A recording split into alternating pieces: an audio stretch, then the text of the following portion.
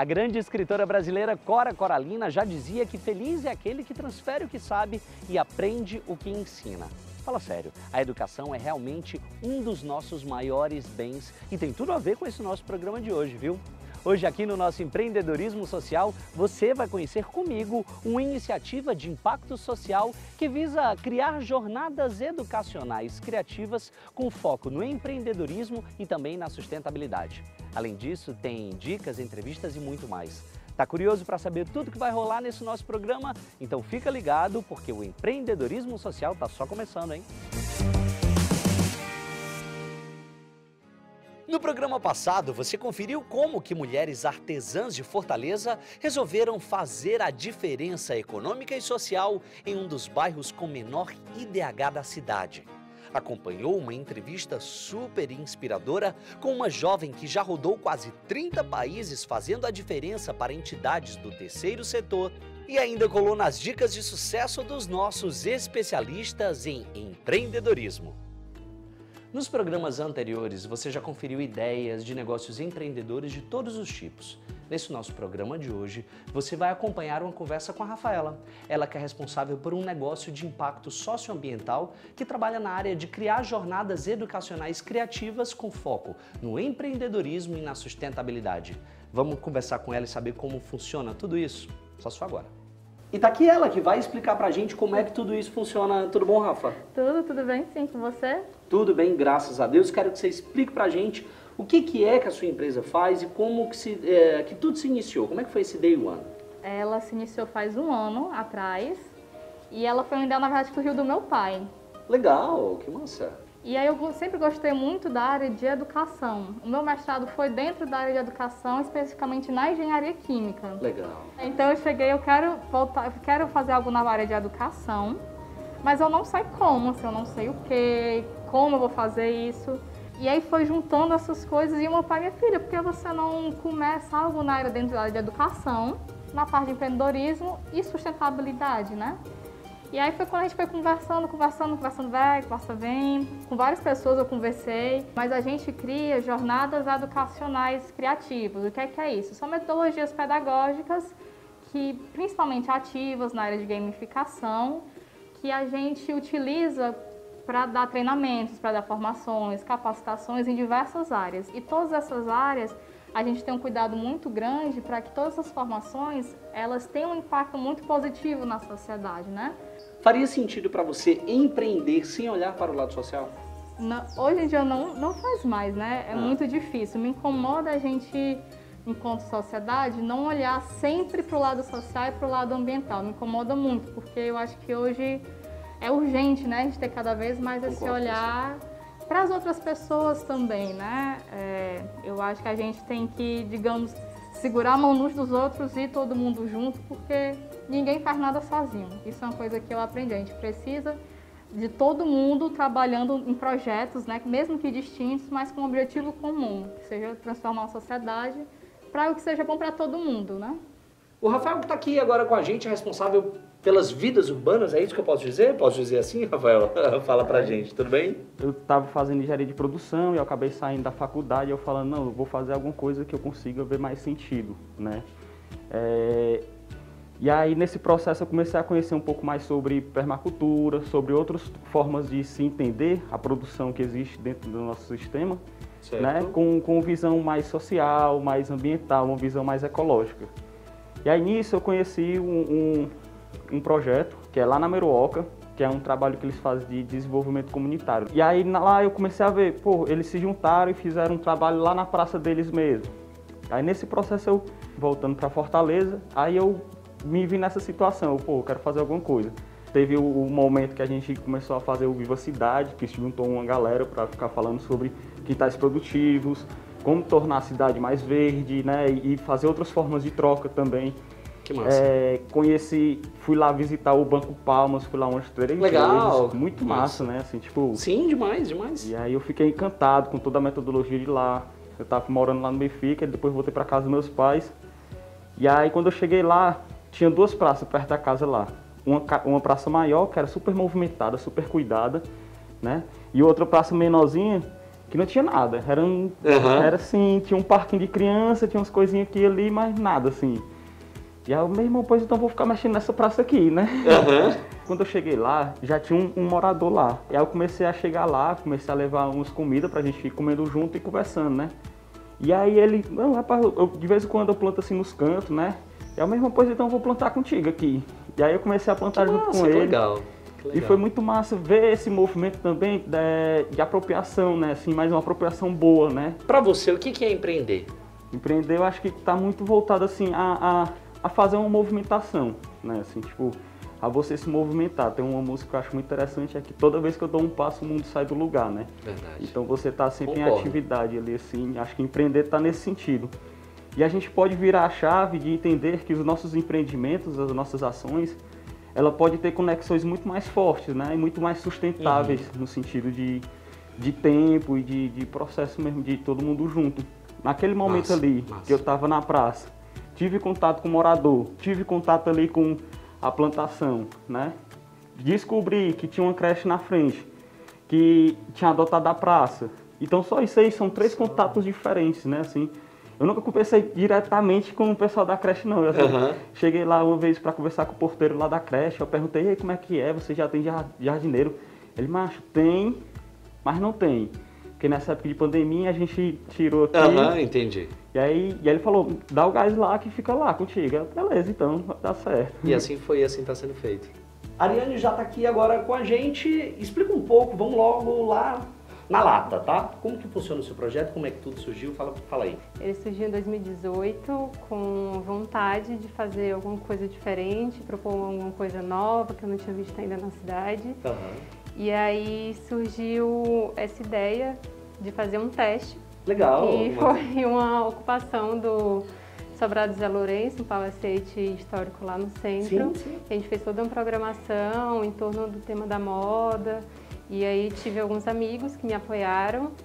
Então a gente propõe a fazer mais relações de doação, de permuta, de colaboração e fazer com que pessoas se conectem para que elas possam é, co-criar projetos com objetivos comuns e executar esses projetos com algum impacto socioambiental. O que é empreender para você? Coincidentemente, hoje é o Dia Global do Empreendedorismo Feminino. Uhum. Empreender por dicionário é criar é, um, atividades, negócios é, novos. Então, a partir do, da, sua, da sua vontade, do seu empreendimento, criar novas possibilidades. É possível sim o casamento entre empreendedorismo e cinema, é ou não é, cara? É sim. É perfeitamente possível e em breve, tá? Em 2021, vocês vão ver Semeando nas Dunas, faz certo? Semeando nas Dunas, é.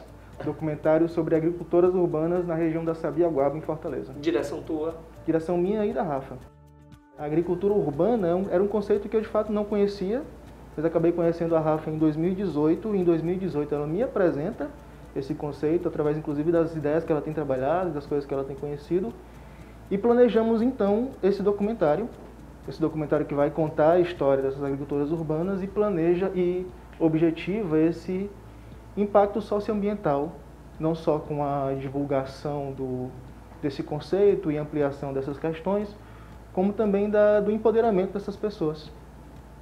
Faria sentido para você fazer um documentário, um curto, enfim, whatever, mas que não tivesse uma pegada socioambiental? De forma alguma. Por quê? O cinema, ele, o cinema ele sempre tem um impacto social. É, o nosso objetivo é utilizar essa força que o cinema tem de forma positiva. Legal. A gente tem uma necessidade não só de observar o mundo à nossa volta, mas também de transformá-lo. Eu sou nascido e criado na periferia de Fortaleza. Eu vejo e vi injustiças e questões ligadas à periferia, questões ligadas à marginalização, que sempre foram muito fortes. Eu ainda tenho e pretendo não perder essa necessidade de tentar uma transformação do mundo que eu vejo, tentar lutar contra essas injustiças, tentar lutar contra essas desigualdades que são tão grandes e são tão visíveis na sociedade como um todo. Está previsto para sair quando? É o projeto Semeando nas Dunas. Ele é um documentário de curta-metragem. Ele está em fase de captação. Tá. É, a previsão de lançamento do a previsão de lançamento do documentário é agosto, setembro de 2021. É, nós pretendemos lançar em espaços culturais, como os Cucas, o Centro Cultural Bom Jardim, fazer uma ampla divulgação para toda a cidade e é isso. Nos vemos, nos vemos em breve. É a sétima arte na Sabiaguaba, para se ressaltar. Nosso empreendedorismo social já vai fazer um pequeno break. Mas antes da gente ir para o intervalo, você já sabe, tem pergunta para você. Já que hoje o foco do nosso programa é empreendedorismo e educação, então fala para mim, o que são competências para o século 21? Você sabe dizer? Seria a opção A, saber usar a tecnologia? Seria a opção B, conhecimentos técnicos exigidos pelos recrutadores? Ou então a opção C, um conjunto de conhecimentos, habilidades e atitudes que preparam os alunos para a vida acadêmica, profissional, pessoal e em comunidade. Já vai pensando qual a resposta certa que depois do intervalo eu já te digo qual é. O empreendedorismo social não pode parar, fica aí, a gente volta já.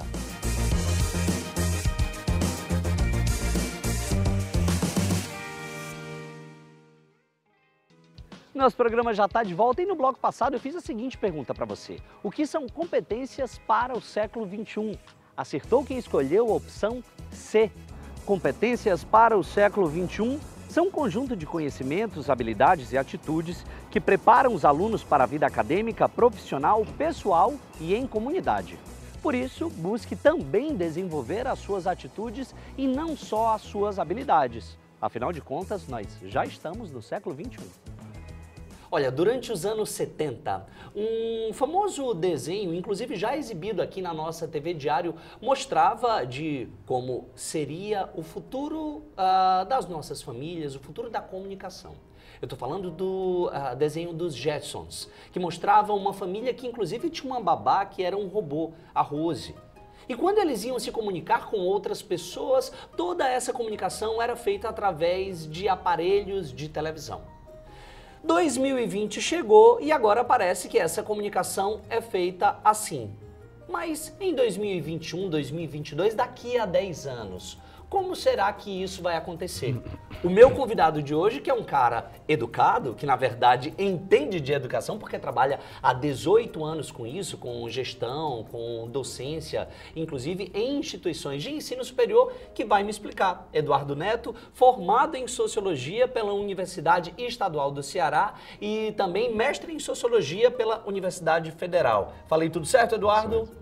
Muito bem, explica para mim, os Jetsons já estavam prevendo esse nosso futuro? Que agora, né? Bom, a, a, a ficção, ela tem sempre uma perspectiva de prever o futuro, né? De, não de criar, mas de prever o futuro. Uhum. Aquilo que a gente via nos Jetsons, né? principalmente as pessoas que têm talvez mais de 30 anos ou que assistiram às reprises Sim, aqui na TV Diário. A gente já entrega né, a idade assim puderam, mesmo. Puderam, tá? às vezes, até ficar um pouco alarmada com o que seria esse futuro. Mas, na verdade, esse futuro chegou e chegou bem mais rápido do que a gente imaginava. Verdade. Esse ano, nesse ano de 2020, por conta da pandemia, muitas das transformações digitais que estavam em vias de acontecer nos próximos anos, elas foram antecipadas.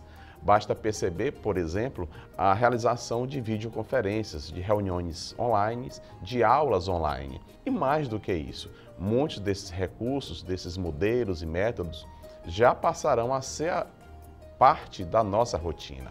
E hoje o que é que nós temos? Um processo de automação cada vez maior, de robotização cada vez maior, de internet das coisas e, sobretudo, de avanço do que a gente chama de inteligência artificial. E, obviamente, há aspectos positivos e aspectos negativos, que nós teremos que lidar com elas a partir dos mecanismos institucionais que nós vamos ter. Porque nós vamos ter situações em que a inteligência artificial, por exemplo, ela pode tirar muitos empregos, como já está acontecendo em alguns mercados, inclusive com o mercado educacional que inclusive, uh, acho que a gente pode dizer que uh, você teve um ano atípico, né? Pelo fato de você trabalhar com educação e uh, todo esse sistema da educação teve que antecipar, como você mesmo disse, toda essa esse futuro, né? Que, enfim, que A gente já tinha pincelado aí em algumas coisas, algumas Isso. cadeiras, né? Quem faz graduação sabe que sempre existem duas ou três ou quatro disciplinas durante todo o seu curso que você pode fazer online e agora a gente teve que ir para 100% disso. Assim foi o empreendedor, assim foi o comerciante que teve que também eh, se adaptar, porque ninguém também é, podia ficar seis meses, oito meses é, fechados. Foi todo mundo migrando para isso. Por isso eu te pergunto, qual que é a importância da internet no futuro para o empreendedor, para o comerciante? Quem tinha dificuldades com tecnologia teve que resolver essa dificuldade, sanar essa dificuldade por questões de sobrevivência. Tiveram que é, saber usar um sistema de videoconferência, saber usar um, um sistema de, de, controle de tempo, de gerenciamento do tempo, as várias ferramentas que o mercado Sim. dispõe. Uhum. E essas plataformas digitais, muitas delas já estavam aí disponíveis, só que elas eram usadas apenas para fins de contato social e não para negócios. Veja o Instagram, veja o Facebook e outras ferramentas que depois foram criadas, apropriadas para gerar esse comércio eletrônico.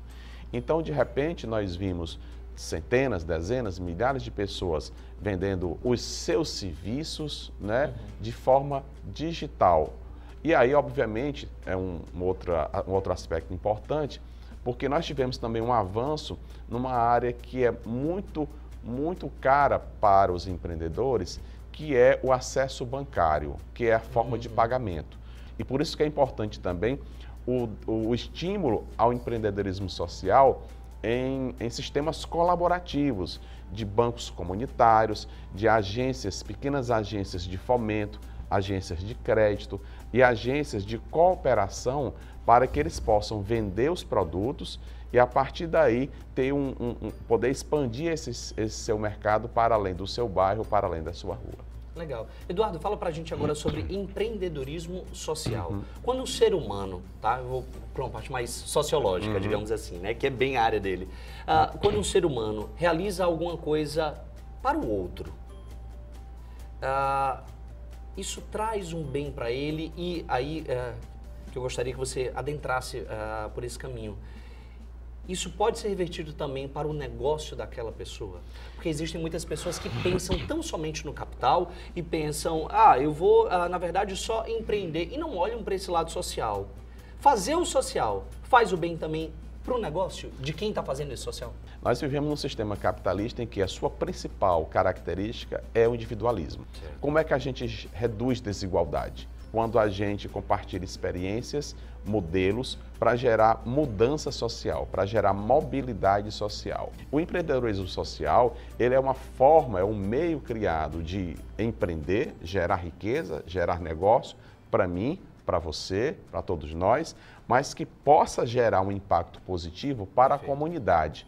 E essa, esse ciclo virtuoso, ele possa ser ampliado para que outras pessoas possam ser atingidas positivamente.